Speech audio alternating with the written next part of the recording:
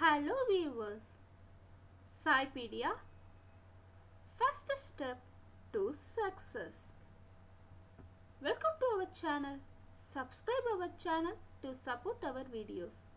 This video deals with 7th standard English Term 1 Supplementary 1 The Red Headed League by Arthur Conan Doyle Part 2 video part one ஓட வீடியோவை நீங்கள் பார்க்கலனா இந்த வீடியோவோட description பாக்ஸில் part one வீடியோவோட link கொடுக்குறேன் மறக்காமல் பாருங்கள்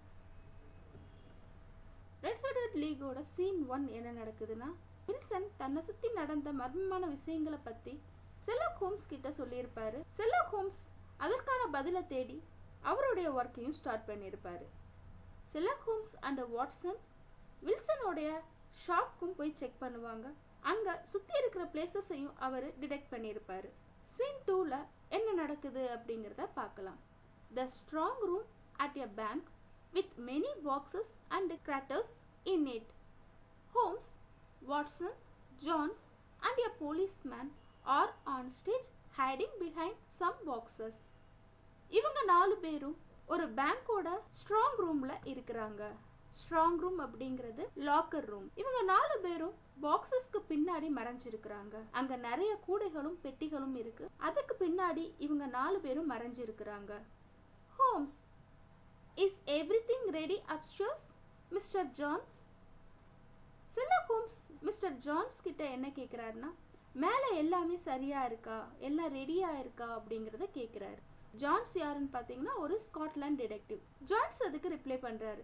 My men are waiting at the front door of the bank and near the shop என்னுடைய ஆட்கள் பேங்க்குக்கு முன்னாடி இருக்கிற கதவுகள் முன்னாடி நிக்கிறாங்க அண்ட் வில்ஷனோட ஷாப்க்கு முன்னாடியும் நிக்கிறாங்க அப்படிங்கறத ஜான்ஸ் வந்து சொல்றாரு.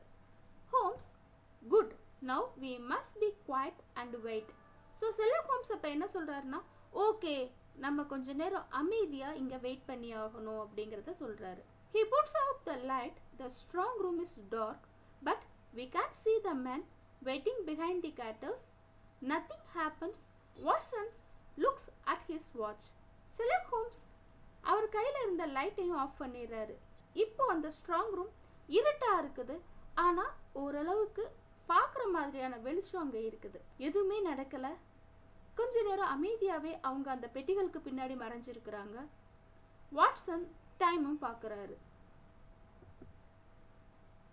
Watson whispering it's eleven fifteen Watson time பார்த்துட்டு இப்போ லெவன் ஃபிஃப்டீன் ஆயிடுச்சு அப்படிங்கிறதையும் சொல்கிறாரு Holmes when don't spoil our investigation அமைதியாயிரு. நம்ம பண்ணிட்டு இருக்கிற இன்வெஸ்டிகேஷனை ஸ்பாயில் பண்ணிடாத. சத்தம் போடாம அமைதியாயிரு அப்படின்னு சொல்றாரு.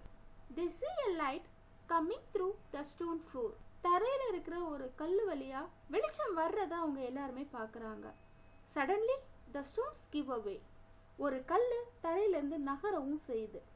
First a hand with a gun comes out of the ground then another hand Spaulding comes out followed by Ross தரையில் அந்த கல் நகர்ந்த உடனே உள்ளேருந்து ஸ்பாட்லிங் வெளியே வர்றான். அவன் கையில் கன்னும் வச்சிருக்கிறான். ஸ்பாட்லிங்கை தொடர்ந்து ரோஸும் வெளியே வர்றான். Spaulding to Ross now have you got Spaulding அந்த கற்கள்ல இருந்து வெளியே வந்துடுறான் பின்னாடி ரோஸ் வந்து கொஞ்சம் கொஞ்சமா அப்ப வெளியே வந்துட்டு இருக்கிறான் with his light Holmes comes out from behind his box and hits Spaulding's arm now the gun is on the ground Ross quickly gets back into the tunnel Jones wants to stop him but he can't Sherlock Holmes மறைச்சிருந்த பெட்டிகள்ல இருந்து வெளியே வந்து ஸ்பாட்லிங்கோடைய கையில ஒரு அடியும் அடிக்கிறாரு. அடிச்ச வேகத்துல ஸ்பாட்லிங் கையில இருந்த கன் கீழே விழுந்துருது. வெளியே வர காத்துட்டு இருந்த ரோஸ் உடனே டெனல்குள்ளவும் ஓடிடுறான். ஜான்ஸ் ரோஸை பிடிக்கிறதுக்கு ட்ரை பண்றான் பட் அவனால பிடிக்க முடியல. டெனல் உள்ள ரோஸ் போயிடுறான்.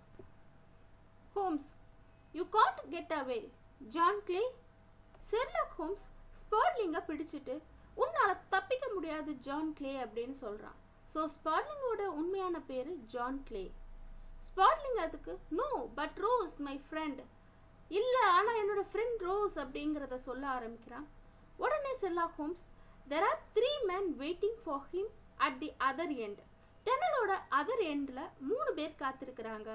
அவனாலையும் தப்பிக்க முடியாது அப்படிங்கிறத செல்லா ஹோம்ஸ் சொல்கிறாங்க Spaulding you think of everything mister Holmes you are very clever நீ எல்லா விஷயத்தையும் பத்தி யோசிச்சிருக்கிற.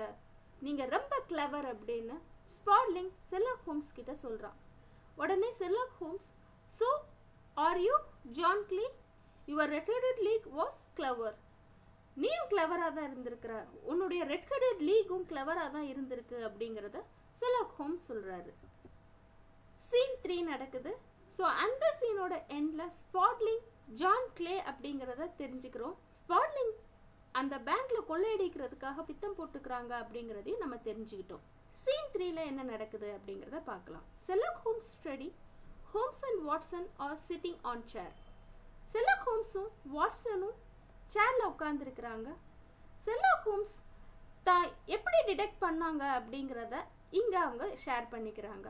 Holmes there was never any red headed league the villains wanted Wilson away from the shop for some hours every day red headed league அப்படிங்கிற எந்த ஒரு சங்கமும் கிடையாது.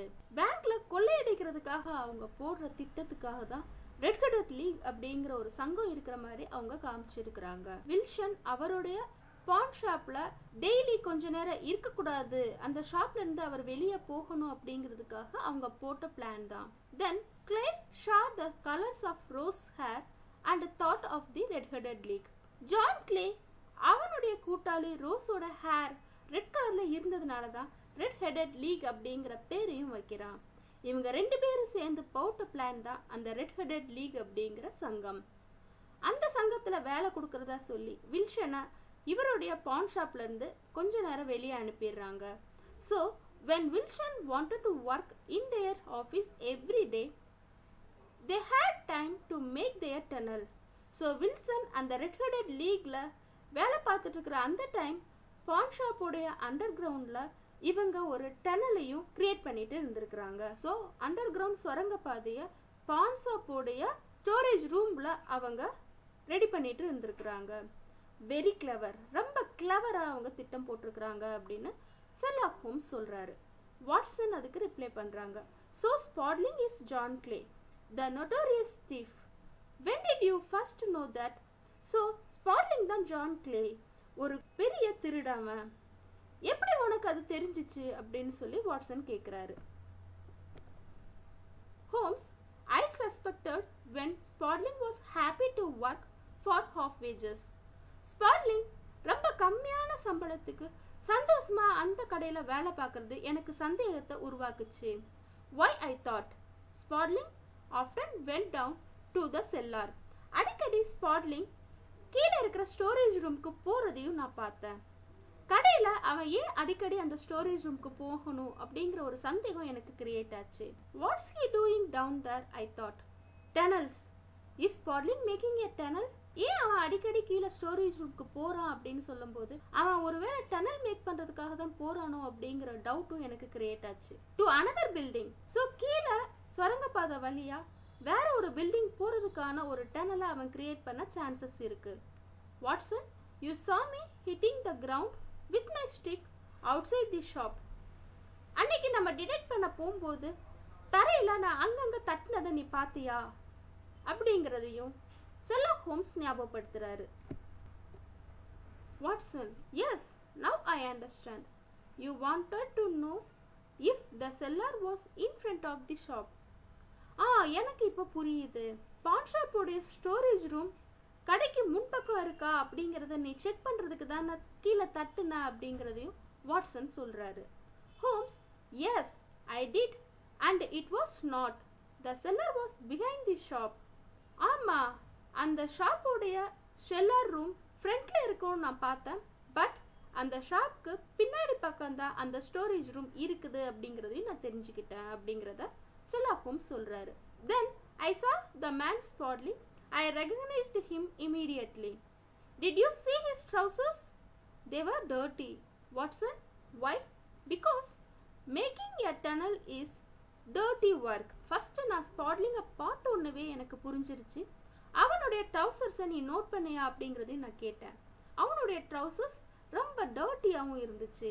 ஏன்னா டனல் மேக் பண்ணுறது அப்படிங்கிறது ரொம்ப டர்ட்டியான ஒரு work Watson very clever Holmes Watson Sherlock Holmes பார்த்து ரொம்ப கிளவராக நீ பண்ணியிருக்கிற அப்படிங்கிறத சொல்கிறாங்க Sherlock Holmes then I went to the next street at the back of the shop and what did I see the bank so ஷாப்போட பின் பக்கம் நான் போய் செக் பண்ணேன். அங்கே நான் பார்த்தது என்ன தெரியுமா?